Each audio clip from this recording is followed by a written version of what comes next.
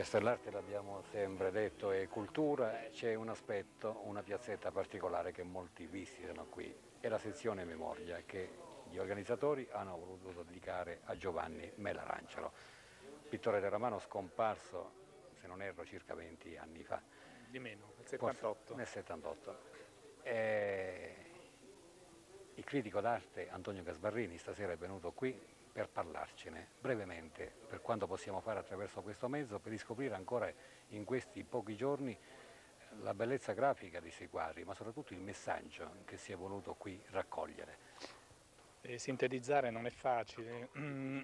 Quando mi hanno dato questa opportunità di dedicare la sezione memoria di Castellarte a un artista abruzzese scomparso, per la verità di artisti bravi scomparsi negli ultimi anni ce ne sono moltissimi, è stato quasi automatico pensare a Giovanni Melarangelo. Prima di tutto perché come artista diciamo che è stato sempre un po' restio ad apparire in pubblico. E Giovanni Melarangelo ha fatte pochissime personali, moltissime collettive durante la sua intensa attività e poi perché mi sembrava un atto dovuto nel senso che eh, non sempre, direi quasi mai, i reali valori in campo nel settore culturale emergono per il loro valore. E Giovanni Melarangelo è uno di quelli che ha segnato la storia dell'arte in Abruzzo, ha costituito un polo di riferimento per eh, molti militanti e per il rinnovamento dell'arte in Abruzzo, questo soprattutto negli anni 50 e 60,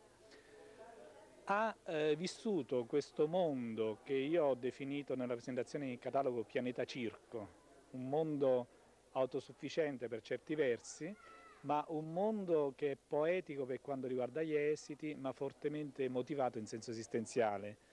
Tutti i personaggi di Giovanni Melarangelo, ad iniziare dal suo beffardo, l'ho definito io, autoritratto del 53, vestito con il saio domenicano, L'Arangelo, lo sanno tutti, era un militante comunista e per questo ha pagato molto eh, in termini di incomprensioni. Quindi ad iniziare da quel, quell'autoritratto a tutto ciò che ho proposto grazie alla collaborazione fenomenale che c'è stata del figlio Sandro, anche egli artista, del figlio Peppino, di alcuni collezionisti, tra cui l'avvocato Lettieri,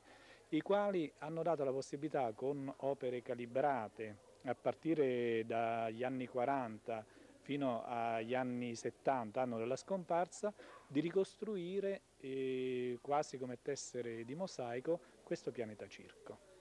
Ecco, perché pianeta circo appunto qui a Castellarte? Qualche curioso, cioè che non, sono, non sono, tutti intenditori come, come lei dell'arte e guarda appunto questi clown qui che eh, aleggiano attorno a questa piazza quale messaggio si è voluto rappresentare con ecco, questo? Clown, io poi dico ballerine, donne cannone, eh, potremmo sintetizzare eh, il messaggio di Michelangelo in quel quadro che sta benissimo in una storia dell'arte contemporanea che è Arena Popolare, un quadro che è degno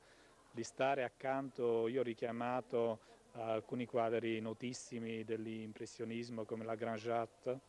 e perché? Perché in, um, in questi quadri di Giovanni Melarangelo l'arte è quasi un pretesto, quello che è importante invece è l'uomo, cioè eh, per Giovanni Melarangelo era importante interpretare cosa ci fosse dietro la maschera, dietro il sipario, queste ballerine acerbe, eh, che cosa rappresentano, come si muovono. E quindi la sua è eh, sì una, uh, diciamo, una resa per immagini, ma una resa poetica che ci parla dell'uomo, ci parla dei sogni, delle delusioni. Il circo da uh, momento di divertimento diventa un momento drammatico, un momento della solitudine, cioè vedere al di là, sotto il belletto della maschera, sotto un pensiero cosa c'è, Giovanni Melarangelo ce l'ha fatto capire per accenni. Giovanni Melarangelo è un, nel filone possiamo senz'altro eh, inserirlo in quello del realismo, però un realismo che è stato poi sublimato a livello tecnico, a livello eh, di immagine, a livello espressivo da,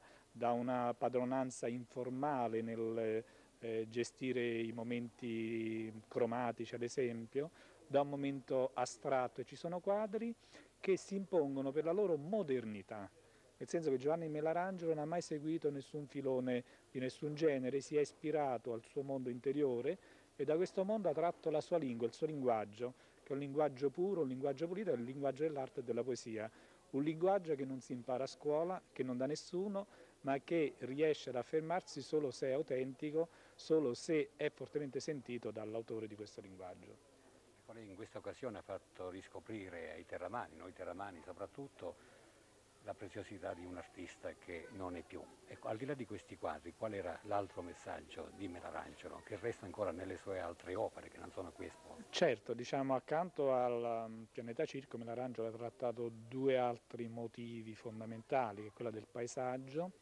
eh, ed è quella de, del ritratto, del ritratto. Però a mio modo di vedere la eh, modernità, perché questo è un fatto molto importante, in provincia spesso i messaggi ci arrivano con ritardo e sono rielaborati spesso in senso quasi dialettale, in senso orecchiato. La modernità di Melarangelo sta nell'essere stato autonomo ma collegato ai grandi movimenti d'arte. Eh, cito per tutti negli anni eh, 50, all'inizio del dopoguerra, i contatti con la scuola romana, i contatti con il gruppo dei di Torino, i contatti con, ecco, Melarangio seguiva molto il teatro, tra parentesi eh, lavorava negli anni 20 addirittura in giornali satirici come caricaturista e eh, diciamo in questo suo essere a contatto con la realtà sociale, umana, contatto dal quale poi derivava questa sua militanza eh, di, di, sinistra, eh, lui ha sempre visto eh, al di là del, dell'immagine, cioè il quadro, eh, il ritratto, il paesaggio non sono mai fine a se stessi, non sono un'esercitazione accademica o virtuosistica, sono un modo, un momento per avere un impatto con questa realtà e per riproporcela in termini sublimati, in termini poetici, in termini caldamente umani. Io credo che con poche parole, in pochi minuti, lei è riuscito a renderci il personaggio, a farcelo ricordare, a farlo conoscere e scoprire, quanti forse non hanno avuto occasione di conoscerlo. Ecco, eh, si chiude anche Castellarte, c'è questo messaggio, questa, questa, mostra che è stata proprio venuta in memoria di un terramano. Il critico d'arte che abbandona, che lascia, quale messaggio può dare invece ai terramani perché si possono ricordare ancora nel futuro di Ecco, devo dire che i terramani si stanno ricordando di Melarangelo, tant'è che è stato costituito un comitato per le celebrazioni di Giovanni Melarangelo un anno fa, due anni fa, il quale comitato, oltre a farsi promotore per la dedica di una via a Giovanni Melarangelo a Teramo, sta predisponendo una grande mostra retrospettiva con un'edizione di un apposito catalogo che sarà curato da Micacchi e quindi diciamo la città ha preso coscienza, eh, a prescindere da questo omaggio, del valore di Giovanni Melarangelo e sta facendo in modo che questo valore vada extramenia, fuori le mura. Per me c'è un rimpianto, il rimpianto è questo, che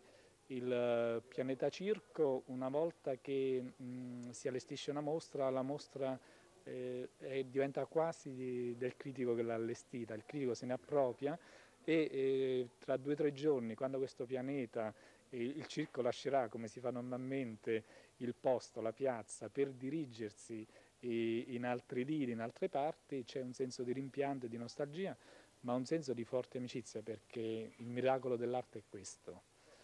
Le opere vivono e sanno andare oltre l'artista e questo solamente se l'opera è autentica. E quello che ha dimostrato questo pianeta circo, che Giovanni Melarangelo era un artista autentico con la A maiuscola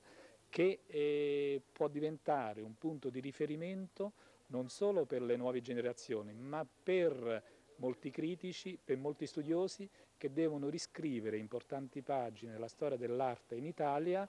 anche rivedendo queste pagine alla luce dell'arte altissima del Magistero di Giovanni Melarangelo. Io la ringrazio e le formulo i migliori auguri anche potersi rincontrare di nuovo con Giovanni Melarangelo, forse su altri lidi, in altre piazze. Grazie. Grazie.